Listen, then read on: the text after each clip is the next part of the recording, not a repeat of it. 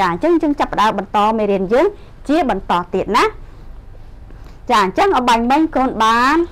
អឺបំពេញចម្លើយដែលកូនបានរកឃើញហើយមែនទេកូនចាអញ្ចឹងចង់ដឹងថាចម្លើយរបស់កូននោះត្រឹមត្រូវដែរឬទេកូនរាប់រំលែកចំនួននឹងបានត្រឹមត្រូវដែរឬទេអញ្ចឹងដូច្នេះអ្នកគ្រូមានរូបភាពតំណាងឲ្យផ្លែមុងមង្ឃុតអញ្ចឹងនេះគឺជារូបភាពតំណាងដែលតំណាងឲ្យផ្លែមុងមង្ឃុតណាកូនណា ចាអញ្ចឹងលោកគ្រូសូមរំកិលរូបពុសំនៅខាងស្ដាប់បន្តិចនេះកូនណាចាលោកគ្រូសូមរំកិលបន្តិចសិនចាអញ្ចឹងនេះគឺជារូបភាពតំណាង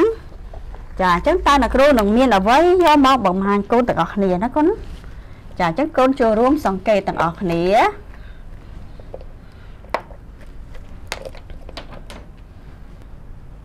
ចាអញ្ចឹងនេះគឺជារូបភាពតំណាង ដែរតំណាងឲ្យផ្លែមងឃុតដែរពុសកគាត់ គាត់មានអញ្ចឹងនៅក្នុងរូបភាពនេះគឺតាឲ្យចំនួនផ្លែមង្ឃុតហ្នឹងគឺចំនួន18ផ្លែគាត់ណាចំនួន18ផ្លែអញ្ចឹងកូនអាចចូលរួមផ្ទៀងផ្ទាត់ជាមួយអ្នកគ្រូបានចាអញ្ចឹងកូនរាប់ទាំងអស់គ្នាជាមួយអ្នកគ្រូណាកូនណាតើវាមានចំនួន18ផ្លែមែនឬទេចា1 2 3 4 5 6 7 8 9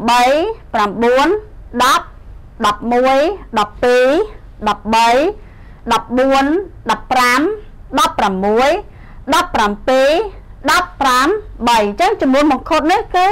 ងចំនួនមង្ឃុតដែលពូសំពូសំមានណាកូនណាអញ្ចឹងគាត់រៀបដាក់ចូលនៅក្នុងអីកូនចានៅក្នុងប្រអប់អញ្ចឹងអ្នកគ្រូយកពណ៌ក្រដាស់ពណ៌របស់អ្នកគ្រូតំណាងឲ្យអីគេកូនចាគឺតំណាងឲ្យប្រអប់ដែលគាត់មានចំនួន3ប្រប្រអប់ណាកូនណាចាអញ្ចឹងគ្រូបិទតំណាងដក clear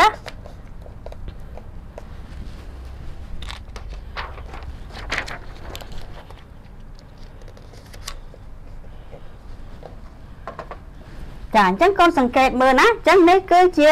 ប្រអប់តាងឲ្យប្រអប់ដែលពូ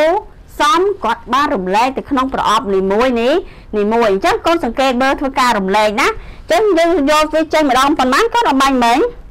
ចាអញ្ចឹងយើងយកផ្លែមង្ឃុតនេះចេញម្ដងម្ដងមួយណាអញ្ចឹងអ្នកគ្រូដាក់ចូលក្នុងប្រអប់ទី1ចាបន្ទាប់មកអ្នកគ្រូរើសទៀតហើយអញ្ចឹងយើងអាចរើសមង្ឃុតនៅកន្លែងណាក៏បានដែរណាកូនណាចាយកវាចេញមួយទៀត ចាម្ដងមួយម្ដងម្ដងមួយណាកូនណាចាអញ្ចឹងរំលែកម្ដងម្ដងមួយចារំលែកតទៀត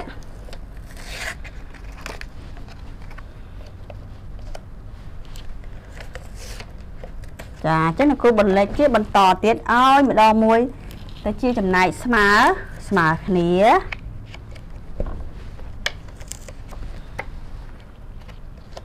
ចាអញ្ចឹងកូនមើលសកម្មភាពដែលនៅគ្រូរំលែកដូចអ្វីដែលកូនរំលែកអំបញ្ញមិញអត់កូនចាដូចគ្នាណាកូនណាឆ្លាតអញ្ចឹងកូនចេះពីការរំលែកចំណែកស្មើគ្នាហើយមែនទេកូនចាអញ្ចឹងនឹងគ្រូរំលែកតតែអស់ចំនួនម៉ងមង្ឃុតនីមួយនីមួយដែលប្រសំគាត់បានរំលែកណាកូនណាចាអញ្ចឹងនៅគ្រូនៅសល់មង្ឃុតទៀតអញ្ចឹងនៅគ្រូរំលែកវាតតទៀតណាឲ្យវាអស់ចំនួនមង្ឃុត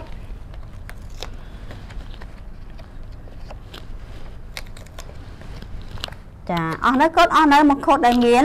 ចាអត់តន់អស់ទេអញ្ចឹងយើងរំលែកតទៀតណាកូនណាចារំលែកបន្តទៀត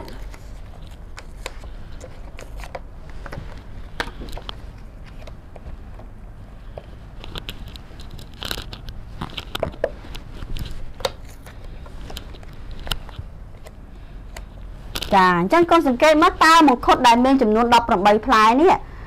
អឺអ្នកគ្រូបានរំលែកវាចូលទៅក្នុងក្រដាសពណ៌នីមួយៗដែលតាងឲ្យប្រអប់ដែលដាក់ផ្លែមង្ឃុតមែនគាត់ចឹងអស់នៅចាអស់ហើយអញ្ចឹងកូនចូលរួមទៀងទាត់មើលក្រោយពេលរំលែកហើយតើក្នុងប្រអប់នីមួយនីមួយហ្នឹងមានផ្លែមង្ឃុតចំនួនប៉ុន្មានផ្លែមែនទេកូនចាអញ្ចឹងកូនចូលរួមរាប់ជាមួយអ្នកគ្រូ1 2 3 4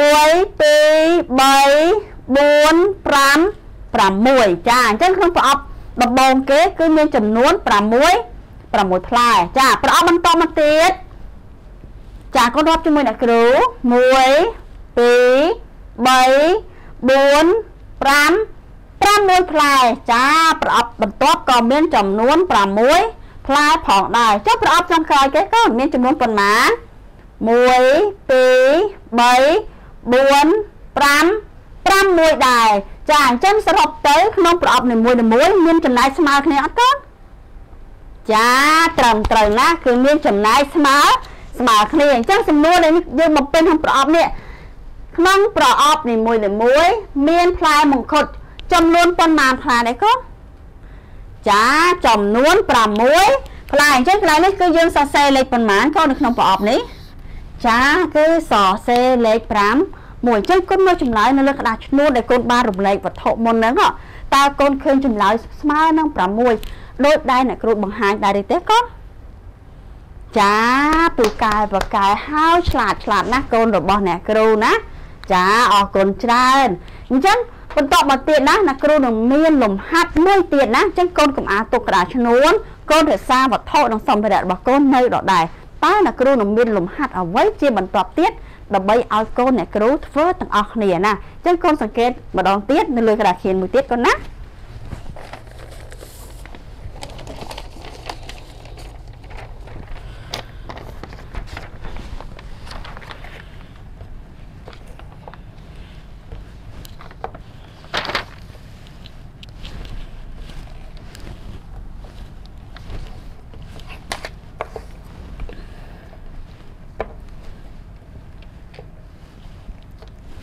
ចាអញ្ចឹងនៅទីនេះគ្រូមានលំហាត់មួយទៀតដើម្បីឲ្យកូនចូលរួមទាំងអស់គ្នាអញ្ចឹងកូនសង្កេតហើយកូនអានជាមួយនឹងលំហាត់ថ្មីនេះជាមួយនឹងគ្រូមួយទៀតណាកូនណា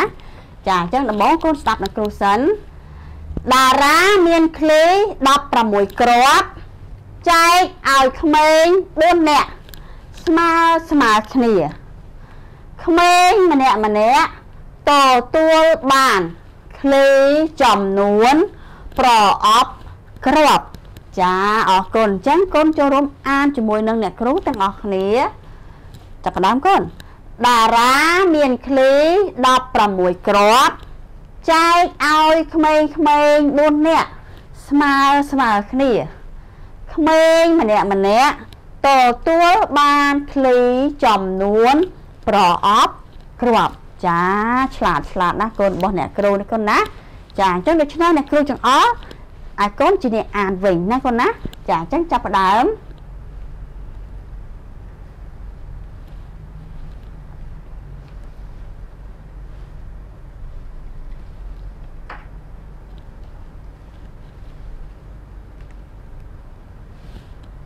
ចាពូកែណាចេះតែធ្វើលំហាត់អានអក្សរបានរហ័សហើយត្រឹមត្រូវទៀតណាកូនណាចាអរគុណច្រើនអញ្ចឹងនៅក្នុងលំហាត់មួយនេះណា គឺតកតងទៅនឹងការចែកតើគេយកអ្វីទៅចែកកូនចាគឺការចែកឃ្លីមែនណាកូនអញ្ចឹងតើអ្នកណាគេជាអ្នកចែកឃ្លីចាគឺតារាហើយគាត់ឲ្យទៅកាន់ក្មេងនឹងចំនួនប៉ុន្មានអ្នកដែរកូនចាអរគុណណាគឺគាត់ឲ្យក្មេងៗនឹងចំនួន4នាក់ស្មើស្មើគ្នាអញ្ចឹងតើក្មេងម្នាក់ម្នាក់ទទួលបាន ក្របឃ្លីនោះចំនួនប៉ុន្មានក្របមែនទេកូនចាអញ្ចឹងក្នុងលំហាត់នេះដដែលកូនធ្វើលំនាំដូចនឹងលំហាត់ទី1កូនមានសម្ភារៈឬក៏វត្ថុអ្វីដែលនៅក្បែរខ្លួនកូនដែលមានចំនួន16ហើយកូនធ្វើការចែកជាចំណែក4ចំណែកនោះឲ្យបានស្មើស្មើគ្នាតើពេលដែលកូនចែកហើយហ្នឹងឬកូនរំលែកហើយតើចំណែកនីមួយៗមានចំនួនប៉ុន្មានដែរមែនទេកូន ចាអញ្ចឹងដូច្នេះអ្នកគ្រូទុកពេលឲ្យកូនឆ្លាតរបស់អ្នកគ្រូអនុវត្តទៅលើសកម្មភាពនេះជាបន្តទៀតណាកូនណាចាអញ្ចឹងកូនចាប់ផ្ដើមឡើង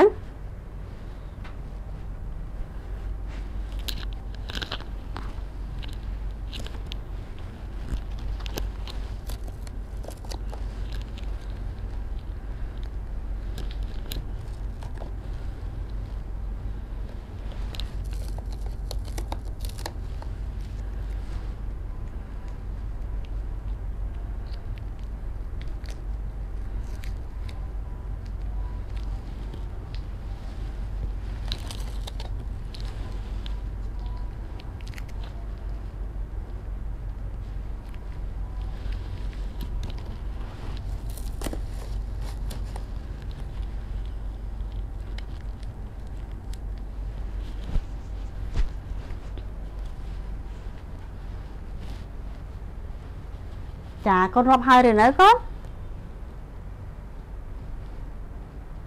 ចាចិត្តហើយមែនទេអញ្ចឹងពេលបើកូនដែលរាប់ហើយណាកូនអាចសរសេរចម្លើយដែលកូនរាប់ឃើញហ្នឹងទុកនៅលើក្តារក្តារឈ្នួនអញ្ចឹងនៅមានកូនមួយចំនួនទៀតកូនអត់ទាន់រាប់ហើយទេអញ្ចឹងអ្នកគ្រូទុកទៅឲ្យកូនឆ្លាតរបស់អ្នកគ្រូបន្តិចទៀតណាកូនណា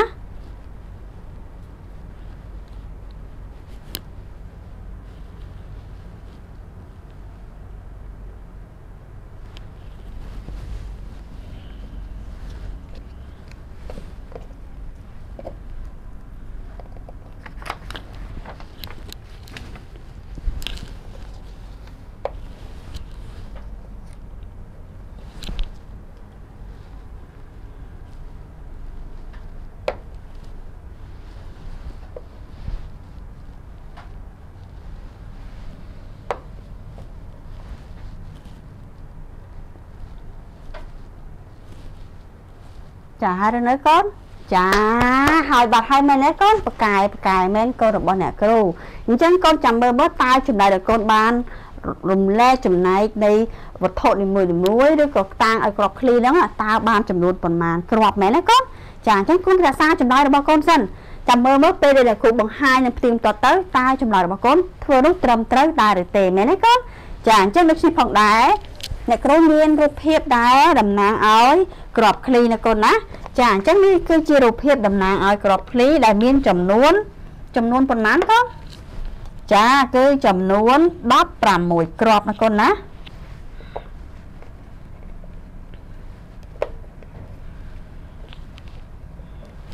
ចាអញ្ចឹងនេះគឺជារូបភាពដែលតំណាងឲ្យចំនួនក្របឃ្លីដែលមានចំនួន16គ្រាប់ អញ្ចឹងគាត់បានបែងចែកទៅឲ្យក្មេងៗនោះគឺចំនួន4នាក់មែនទេកូនចាអញ្ចឹងពេលនេះអ្នកគ្រូដាក់រូបភាពឡើងនេះថាគឺអ្នកគ្រូសរសេរលេខ1គឺជាកុមារទីទី1ណាកូនណាកុមារទី1កុមារទី2កុមារទី3ហើយនិងកុមារទីទី4អញ្ចឹងតើកុមារនីមួយនីមួយទទួលបានចំណែកក្របឃ្លីនឹងចំនួនប៉ុន្មាន ប៉ុន្មានគ្រាប់អញ្ចឹងកូនដឹងហើយណាដើម្បីយើងរំលែកវត្ថុជាចំណែកស្មើគ្នាគឺយើងយកវត្ថុនោះគឺយកចេញម្ដងមួយម្ដងមួយទៅតាមចំណែកដែលយើងបានកំណត់អញ្ចឹងប្រធានយើងគឺក្របឃ្លីទាំងអស់មានចំនួន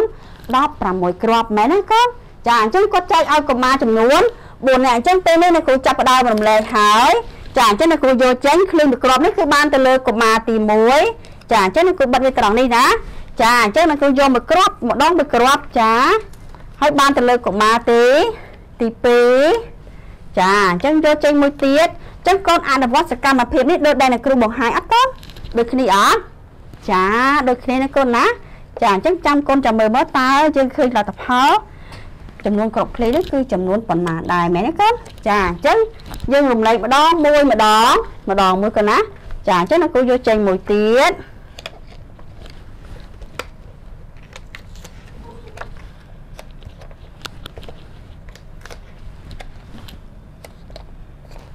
ចា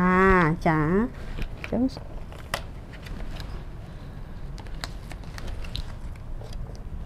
ចាអញ្ចឹងគ្រប់ឃ្លីអត់តន់អស់ទេ ចាអញ្ចឹងបងតារាគាត់ចាប់ផ្ដើមចែកគ្រប់ឃ្លីទៀតហើយចាគាត់ឲ្យទៅបងអូនបងអូនឬក៏ក្មេងៗហ្នឹងចំនួន4 4នាក់អញ្ចឹងយើងធ្វើការរំលែកបន្តទៀត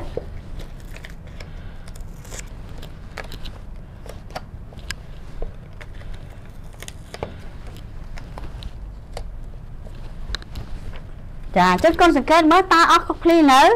ចានៅទេអញ្ចឹងយើងបន្តការរំលែកនេះជាបន្តទៀតណាកូនណាចាអញ្ចឹងរំលែកបន្តទៀត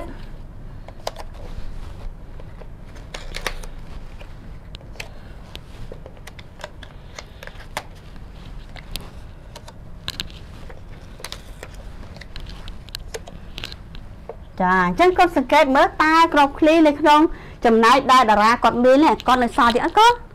ចាអស់ហើយមែនទេគាត់ចាអញ្ចឹងគាត់បានឲ្យទៅកុមារចំនួន4 4នាក់អញ្ចឹងគាត់សង្កេតមើលតើកុមារទី1ហ្នឹងគាត់ទទួលបានក្របឃ្លីចំនួនប៉ុន្មានគ្រាប់គាត់ចាគាត់គាត់អាចចូលរួមរាប់ជាមួយអ្នកគ្រូ1 2 3 4ចាអញ្ចឹងកុមារទី1បានចំនួន4 4គ្រាប់ចុះកុមារទី2 1 2 3 4ចា4ដូចដូចគ្នាកុមារទី3 ចាគុណរាប់ទាំងអស់គ្នា1 2 3 4 4ចាក៏បានចំនួន4គ្រាប់ផងដែរណាកូនណាចាចុះក៏បានទី4វិញ1 2 3 4ចាអញ្ចឹងក៏សង្កេតមើលតើចំណាយឬក៏ចំនួនគ្រាប់ឃ្លីដែលកុមារនីមួយៗទទួលបានមានចំនួនប្រមាណគ្រាប់ដែរកូនចាមានចំនួន4គ្រាប់អញ្ចឹង4គ្រាប់ហ្នឹងស្មើគ្នាអត់ចាស្មើស្មើ គ្នាអញ្ចឹងតើចម្លើយដែលកូនបានរាប់ឃើញហើយកូនសរសេរលើក្តារឈ្នួលរបស់កូនតើកូនសរសេរចំនួនប៉ុន្មានដែរចាអូពូកែណាកូនរបស់អ្នកគ្រូកូនរាប់បានត្រឹមត្រូវហើយឆ្លើយបានយ៉ាងត្រឹមត្រូវទៀតណាកូនណាចឹងកន្លែងនេះគឺយើងបំពេញលេខប៉ុន្មានដែរនៅក្នុងប្រអប់កូនចាគឺយើងបំពេញលេខលេខ4អញ្ចឹងលេខ4នេះគឺជាចំនួនក្របឃ្លីដែលកុមារម្នាក់ម្នាក់នេះគាត់បានពីបងតារាមែនទេកូន ចាអរគុណច្រើនណាកូនណាអញ្ចឹងពេលនេះកូនបានចូលរួមធ្វើលំហាត់ជាមួយនឹងគ្រូហើយក៏ប៉ុន្តែប្រសិនបើមានកូនណាកូនបំពេញចម្លើយទៅកូនរាប់ទៅអត់ទាន់បានត្រឹមត្រូវទេណាកូនកុំអះអស់សង្ឃឹមអ្នកគ្រូជឿជាក់ថាពេលដែលកូនខិតខំប្រឹងរៀនបន្ថែមទៀតដែលកូនអនុវត្តទៅលើសកម្មភាពនៃការបង្រៀននិងការរៀនរបស់កូនជាមួយអ្នកគ្រូដែលគ្រូជឿជាក់ថាកូននឹងធ្វើកិច្ចការនិងលំហាត់ផ្សេងផ្សេងទៀតប្រកបជាត្រឹមត្រូវជាក់ជាមិនខានណាកូនណា ចាអរគុណច្រើនអញ្ចឹងក្នុងថ្ងៃនេះផងដែរអ្នកគ្រូបានបង្រៀនមេរៀនកូនតាក់ទងទៅនឹងលំហាត់បើយើងធ្វើការរំលែកចំណែកនៃវត្ថុស្មើស្មើស្មើគ្នាណាគ្រូសង្ឃឹមថាកូននឹងធ្វើការរំលែកនៃចំណែកវត្ថុប្រើប្រាស់ផ្សេងផ្សេងទៀតដែលតាក់ទងទៅនឹងការរស់នៅប្រចាំថ្ងៃរបស់កូន បានយ៉ាងត្រឹមត្រូវណាកូនណាចាអរគុណច្រើនចឹងមុននឹងបញ្ចប់មេរៀនអ្នកគ្រូមានកិច្ចការផ្ទះដើម្បីឲ្យកូនធ្វើទាំងអស់គ្នា ចាអញ្ចឹងកូនបើកសភៅពុំគណិតវិទ្យាឡើងចាអញ្ចឹងកូនបើកសភៅពុំគណិតវិទ្យាឡើងកូនចាអញ្ចឹងនៅត្រង់ទំព័រទី50ចាអញ្ចឹងគ្រូបញ្ជាក់ទៅលើកិច្ចការផ្ទះទំព័រទី50កិច្ចការផ្ទះលំហាត់ចំណុចទី4នេះគ្រូបញ្ជាក់ឡើងវិញទំព័រទី50កិច្ចការផ្ទះលំហាត់ចំណុច ទី4ចាអរគុណច្រើនចឹងគុណតើនេះប៉ុណ្ណឹងចាអរគុណណាគុណណាអញ្ចឹងអ្នកគ្រូអរគុណសម្រាប់ការដែលកូនចូលរួមនិងសិក្សាជាមួយអ្នកគ្រូនៅក្នុងថ្ងៃនេះផងដែរណាកូនណាហើយអ្នកគ្រូសង្ឃឹមថាកូនទាំងអស់គ្នានឹងខិតខំធ្វើកិច្ចការផ្ទះនេះឲ្យបានល្អត្រឹមត្រូវ ដើម្បីជួបជាមួយអ្នកគ្រូនៅថ្ងៃស្អែកជាបន្តទៀតណាកូនណាអ្វីដែលសំខាន់សម្រាប់ថ្ងៃស្អែកណាកូនទៅត្រៀមសម្ភារៈសម្រាប់ចូលរួមសិក្សាជាមួយអ្នកគ្រូតែអ្នកគ្រូសូមឲ្យកូនមានអីគេកូនចាមានចំនួនបំពង់បឺតខ្មៅដៃជ័រលុបឬក៏វត្ថុណាមួយ ដែលមានចំនួនឲ្យបាន20ណាកូនណាចាបាន20ឧទាហរណ៍កូនមានបំពង់បឺតនៅគ្រូសូមឲ្យកូនមានចំនួន20ដើមបើកូនមានដល់30ដើមឬក៏40ដើមរឹតតែល្អទៀតណាកូនណា ចាអញ្ចឹងកូនត្រៀមចូលរួមជាមួយសម្ភារៈនេះទាំងអស់គ្នាជាមួយអ្នកគ្រូនៅក្នុងពេលនេះអ្វីដែលសំខាន់នោះគឺការធ្វើអនាម័យដៃជាប្រចាំអញ្ចឹងពេលកូនទៅណាមកណាសូមធ្វើការលាងសម្អាតនឹងអនាម័យដៃអនាម័យដៃរបស់កូនឲ្យបានទៀងទាត់ហើយនឹងពាក់ម៉ាស់ការពារសុវត្ថិភាពទាំងអស់គ្នាណាកូនណាគណៈគណៈក្នុងពេលនេះអ្នកគ្រូសូមអរគុណសូមជម្រាបលា